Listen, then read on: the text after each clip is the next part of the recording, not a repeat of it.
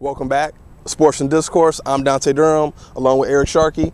You know, during today's show, uh, college football is coming up, so we definitely want to talk about the best conference in college football. And if you don't mind, E, I like to start this one off. And before I even start, I have to put this out there. I'm a Big Ten fan. Actually, I'm not a Big Ten fan. I'm an Ohio State fan. And since they play in the Big Ten, obviously during bowl season, I have to root for the for the Big Ten. But I think when you look at the best conference in college football, and it's been proven throughout the past few years, and I think even going into this year, it will repeat itself. The SEC is top dog. Look at Florida, look at LSU, Alabama. These are, these are teams that just reload. I have even mentioned Georgia. You know what I'm saying? But when you look at the speed, when you look at the size, when you look at the strength down there, I think it's not even debatable the SEC top conference of college football. And that's interesting um, because I would debate that. And you know, you took first you said you know the past couple years. So okay, I took a more um, historical approach. Okay. You know, look historically, what's the best conference? Because you know there's ups and downs. Everybody had their ups and downs. So I wanted to look at the big picture. And so we got a couple numbers. All right, a couple categories is what I took into consideration. Uh, overall record, historically, top 25 teams, teams in the top 25, teams in the top 50, uh, number of national titles, and number of Heisman Trophy winners, along with location. Finally, all right. So let's look at what the numbers say here. Um, start with uh, national titles. We have, looking at the conferences, the Big Ten actually has 22 national titles uh, versus the Big 12 would be next with 20 national titles. And then that would that would follow by SEC with 19 national titles. And I will say this: the Ivy League actually has 48 national titles. Uh, 32 of theirs were won between 1869 and 1900.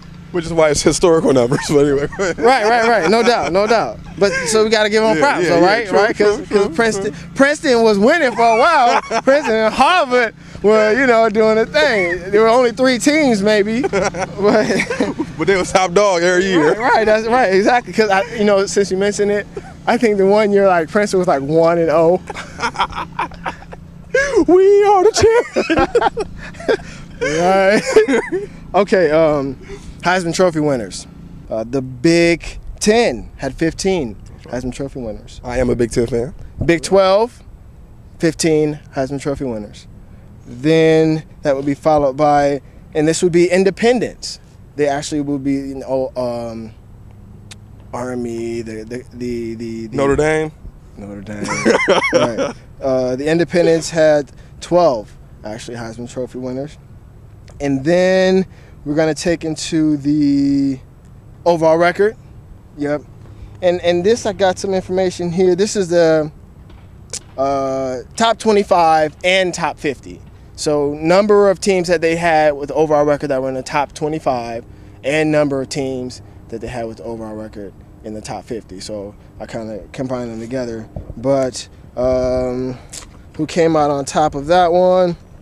We've got the SEC with uh, 14 teams. All right.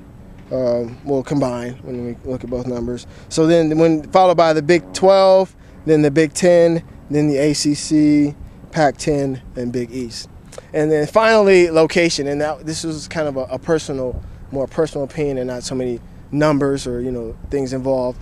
Uh, and when I when I talk about location, I'm thinking um, the environment kind of nurtures a an attitude about the team. You know, your your team takes on a certain persona depending on you know the location. Um, the the Big Ten's a little more rugged, supposedly, where maybe the SEC is supposed to be the speed conference, and you know the Big Twelve has the, the big corn-fed, the big husky guys with you know Texas and and the Nebraskas. And the Pac-10 is more speed also out yeah, there. with the West Coast, yeah. you know, wide open Yeah. type situation, carefree. So um, when I said location, that, those are things I was thinking about. And I said the Big Ten.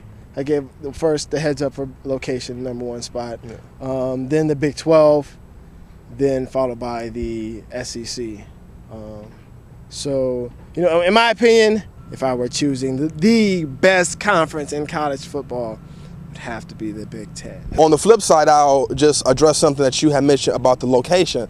I think that it would be a different story come bowl season if these games weren't always played in the prettiest or in the best environment imaginable. You know, it would be different if for a bowl game instead of sending Ohio State down to LSU or down to wherever, if you would bring them up north during January and have them playing in some snow, it would be interesting to see how those games would turn out at that time. You know, but um, uh, I'm going with the SEC. You're going with the Big Ten. Who are you going with? Sports and discourse.